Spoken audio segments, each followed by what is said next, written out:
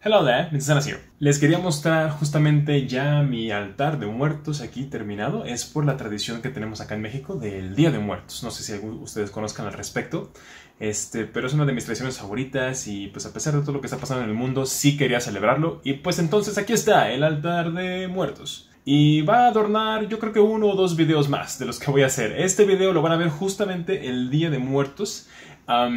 Pero a lo mejor lo uso para otro video de repente. No sé, me gusta mucho la decoración y me gusta mucho, me gusta mucho el olor que tiene también el pan de muerte y todo lo demás.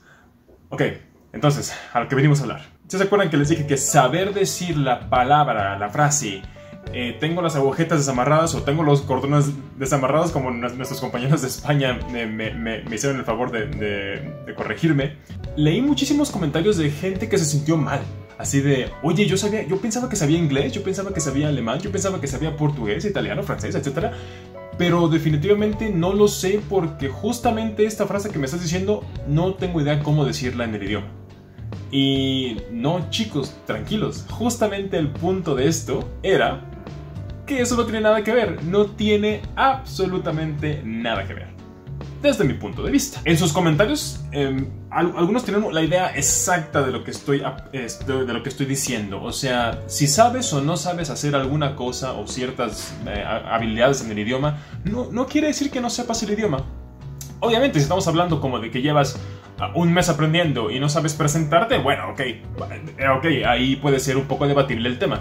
Pero me refiero a cosas como estas, cosas que son muy específicas como no sabes decir cierta palabra o no sabes expresar ciertas cosas, pues simplemente quiere decir que no adquiriste el idioma en ese aspecto porque no lo necesitaste en ese aspecto. Entonces, eso no es un, vaya, no es como un, termómetro, ¿no? Que te diga, ah, sí, sí, sí, este es el nivel en el que tiene que estar tu idioma. No, para nada, para nada. O sea, eso es un mito y por favor no caigan en ello. La pregunta aquí central es decir, eh, ¿cuándo puedes decir que ya sabes un idioma? Bueno, en vez de contestar la pregunta tal cual, les voy a decir que la pregunta está mal formulada. Otra vez, todo esto recuerden que todo esto es desde, mi punto de vista y algunas personas quizás se vayan a molestar. Me alegra, porque así podemos debatir esto que yo pienso y que siempre he pensado y con el que ya he debatido y me he este, peleado con algunos profesores de inglés justamente, o profesores de idiomas en general, de hecho. Entonces, ¿cuándo puedes, ¿cuándo puedes decir que ya sabes un idioma? Bueno, esta pregunta, y el problema de la pregunta es que es egocéntrica. Ese es el problema, es egocéntrica. Quiere decir, ¿por qué? Quiere decir que indica una necesidad ya de poder decirle a alguien que ya hablas el idioma, de poder decirle a una persona, ¿sabes qué? Ya acabé con español, ya sé español, pregúntame algo, te lo demuestro. Es, hay mucho egocentrismo detrás de la pregunta de ¿cómo puedo saber si ya sé el idioma? O sea, eso me dice muchísimas cosas. Me dice que no tienes una meta clara, y me dice que estás aprendiendo el idioma casi casi siempre por aprenderlo. De primera instancia. Voy a hablar también de cuándo esto en realidad no sucede, si simplemente es pura curiosidad. También puede ser, puede ser.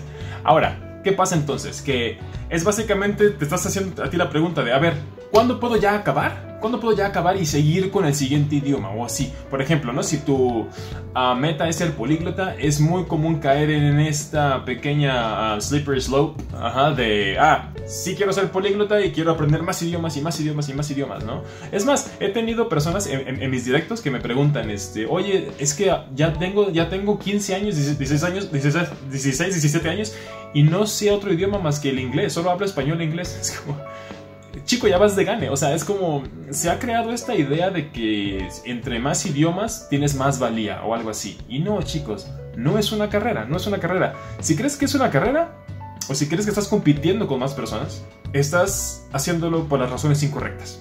La verdad. ¿Por qué? Porque... ¿Cómo vas a saber que sabes el idioma? Bueno, recuerden que cuando empiezas a aprender el idioma, tienes que tener una meta en específico, tienes que, decir, ¿sabes qué? Esta es mi meta, quiero poder hacer esto. Y entonces una vez que logras hacer eso, pues ¿qué crees? Ya sabes el idioma con base en lo que tú querías hacer. Y eso es lo más importante. Nadie te tiene que venir a decir, oye, pero no sabes, a ver, contéstame esto, contéstame tal, a ver, a ver si es cierto. No tienes que demostrarle nada a nadie.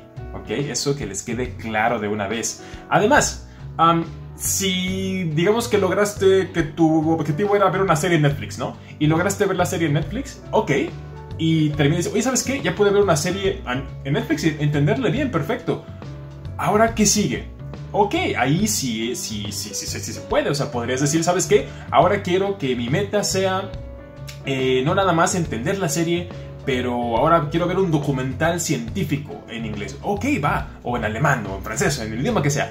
Eso está bien, ¿por qué? Porque subes el nivel de tu ambición y está bien. Una vez que cumples la meta es como, oye, ¿sabes qué?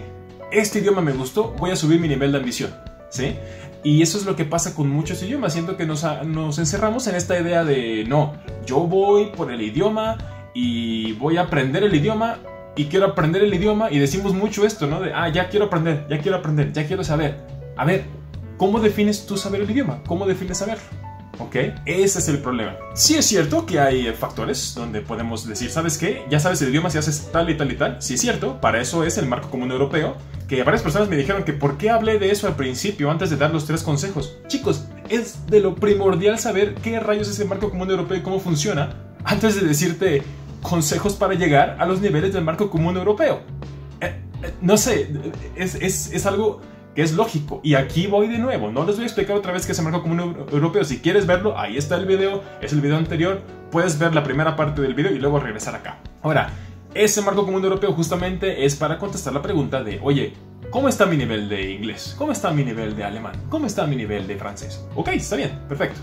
Y usualmente es para las personas que quieren um, utilizar este idioma para un, para un trabajo, para un intercambio, para estudios, etc. O sea, es como para algo un poquito más pragmático, no para pues, tu valía o algo así. Muchos, he visto también que muchos bromean en los comentarios de, de, YouTube o de Twitch que, oye, ¿cuál es tu nivel de poder en, en alemán, tu nivel de poder en, en, inglés? No, para nada. Esto es simplemente, por ejemplo, yo no tengo certificación de alemán. Yo no he hecho ninguna, ninguna certificación de alemán, no la tengo, no me ha hecho falta, no la, no la he querido hacer.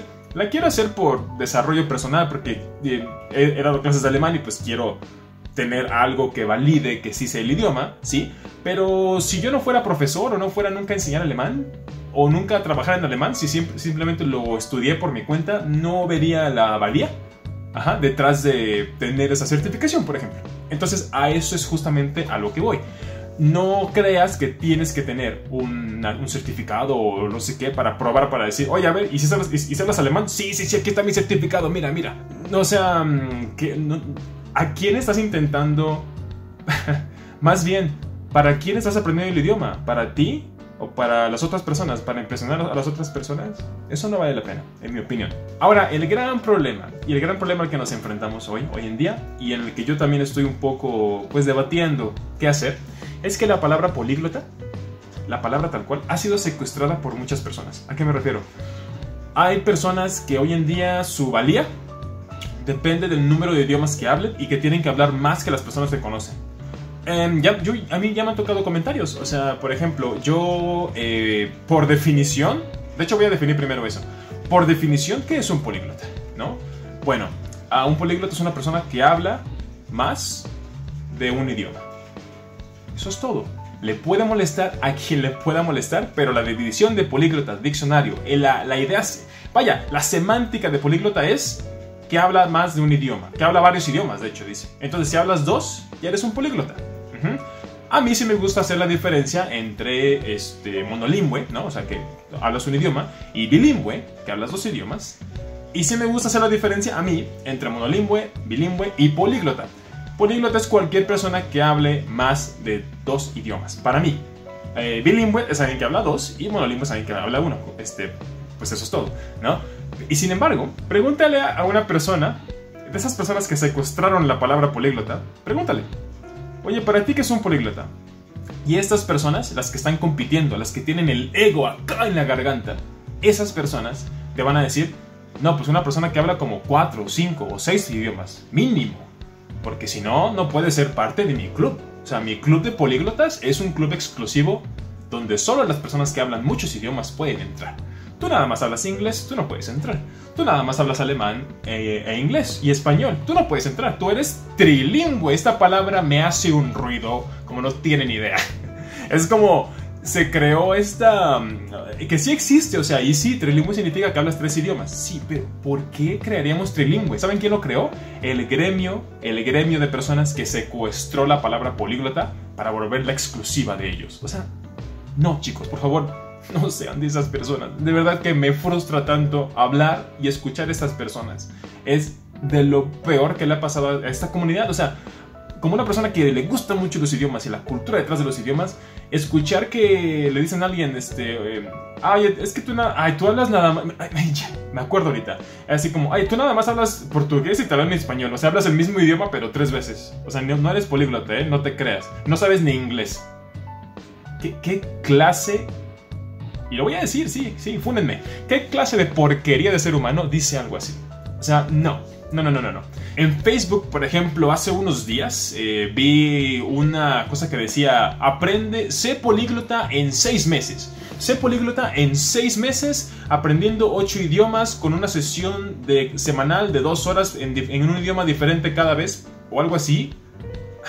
Es como, a ver, ¿cómo? Eh, o sea, como, como profesor de idiomas, como profesor, al menos como profesor de inglés incluso, me hace un ruido tan grande el que haya como este tipo de idea. No sé, la verdad es que súper raro. O sea, ¿qué estamos haciendo? ¿Qué estamos jugando? Estamos intentando llegar a un mercado, ¿no? Pero que la palabra políglota le encanta y queremos decir yo soy políglota. Es como, híjole, si quieres decirlo, dilo. no sé, este, tipo de publicaciones, por ejemplo, que te prometen ser políglota en seis meses, estudiando ocho idiomas distintos, es apela mucho a nuestro sentido de flojera, de, ¿sabes qué? Quiero todo inmediato, que ya hablé en otro video al respecto también. Yo sé que la comunidad, en su mayoría, aquí, la comunidad políglota, especialmente aquí en YouTube, no es así.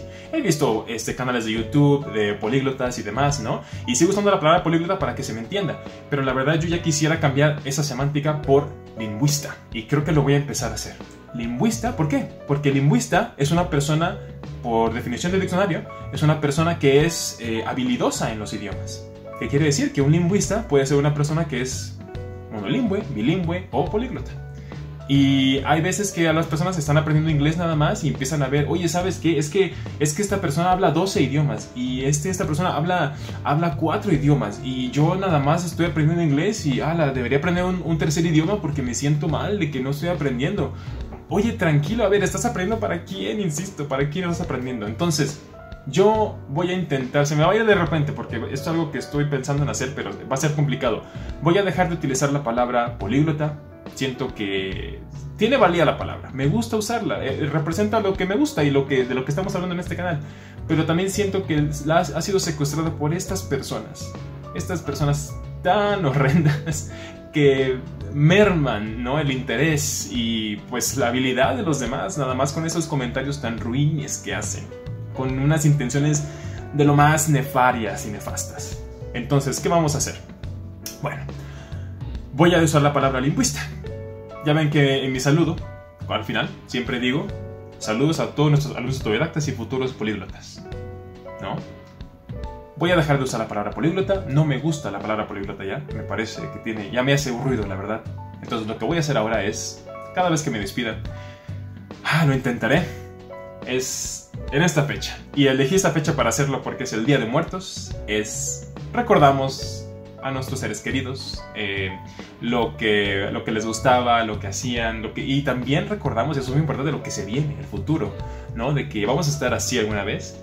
Y me parece que es un buen lugar para mm, enterrar, para mí, la palabra políglota, dejarla enterrada, dejarla en el altar, ponerle una ofrenda, porque hizo su cometido para mí, y empezar a decir esto. Saludos a todos nuestros alumnos autodidactas y futuros lingüistas. Class dismissed.